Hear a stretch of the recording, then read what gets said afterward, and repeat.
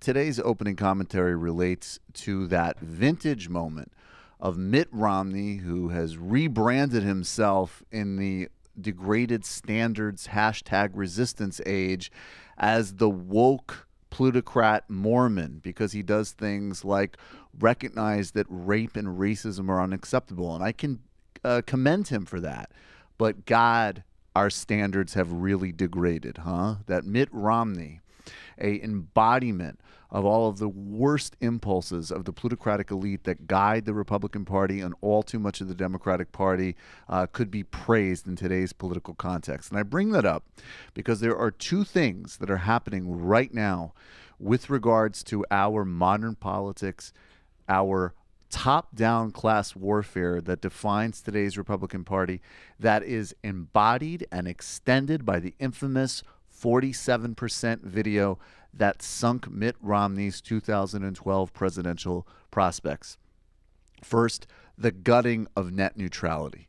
Net neutrality is under attack. And, he, and let me just explain net neutrality for everybody so it's really, really simple what net neutrality is. I'm going to quote now from Victor Pickard. Net neutrality protections are essentially safeguards that protect internet service providers, ISPs, from interfering with the internet.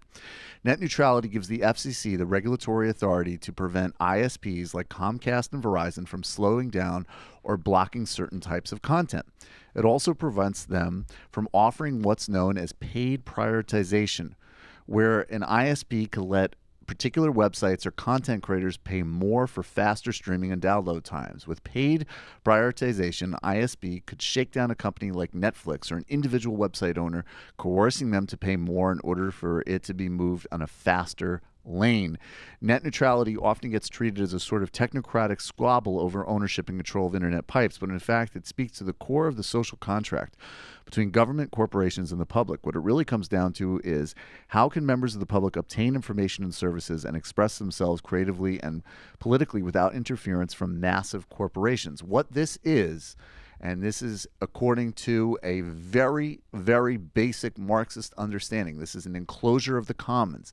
The Internet Commons, which was a publicly funded utility, which allowed for the creation of a hybrid market and commons economy, is now being re engineered by government to serve a basically as a giant cash cow for corporations like Verizon and Comcast. This graphic will give you a sense of what the internet age might look like if the Trump administration's plans and the FCC under Ajit Pai continue to move forward in their mad rush to give more money and resources to internet service providers and block innovation and creation on the internet. Higher bills for you, slower stream times, and all going to some of the worst companies in the world's pockets. And this is just crude accumulation. This is the first wave of how a market works. There's always a commons resource. There's always something that is community developed and community developed. Maybe it's some version of a hybrid system where markets contribute, where government's the foundation, and where communities and the commons evolve something. Now it's going to be privately enclosed to create profit for incumbent legacy corporations that pay off Washington and exploit the public interest. This is happening in line with a massive tax giveaway scheme that is moving fast through the Republican Congress. This is the core Republican agenda make America poorer, sicker, and dumber. And it works together.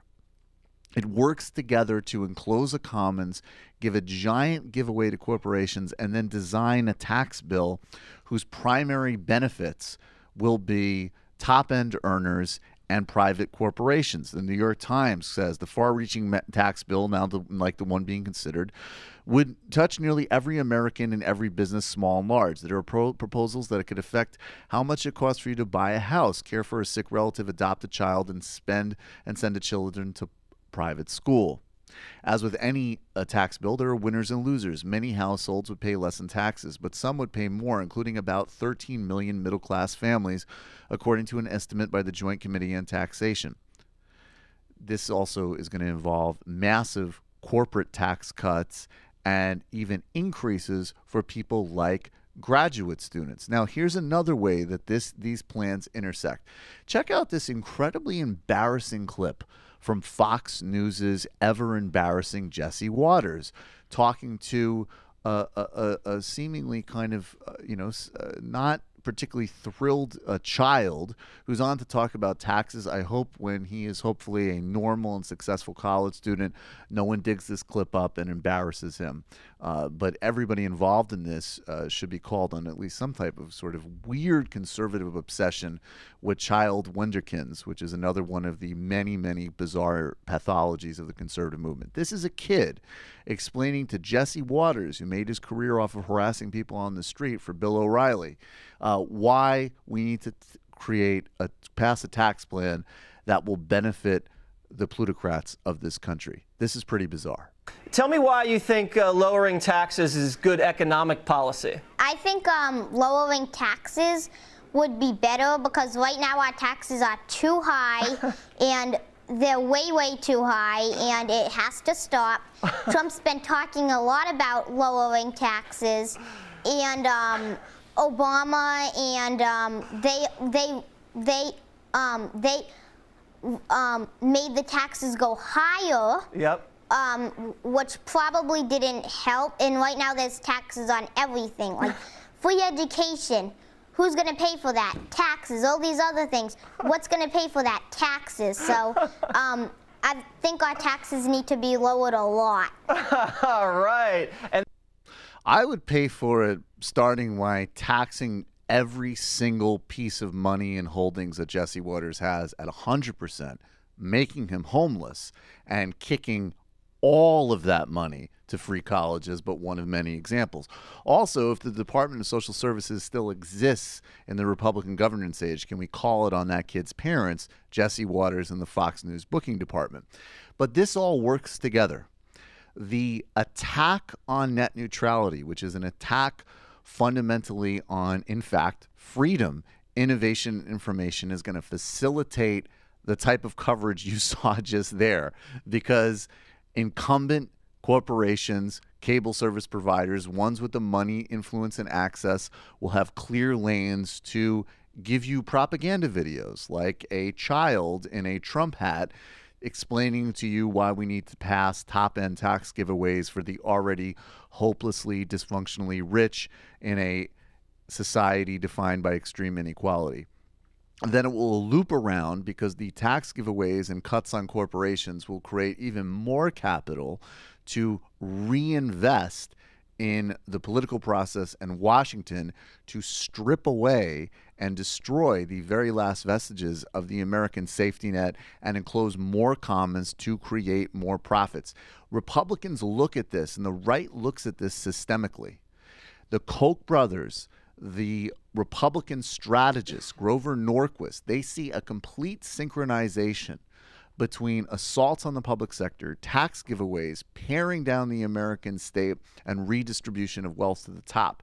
It involves packing the courts, which the Trump administration is doing incredibly effectively.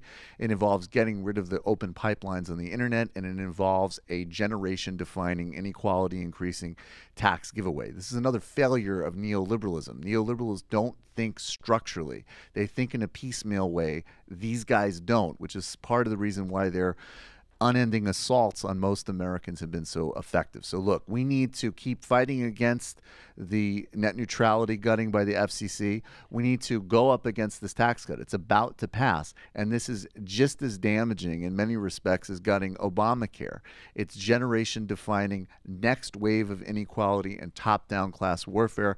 And we need to think structurally because the continuum of getting rid of net neutrality, tax giveaways to the rich, and that kid talking to that troglodyte, Jesse Watters, is all part of a continuum that is destroying our politics, our economics, our media, and cultural lives.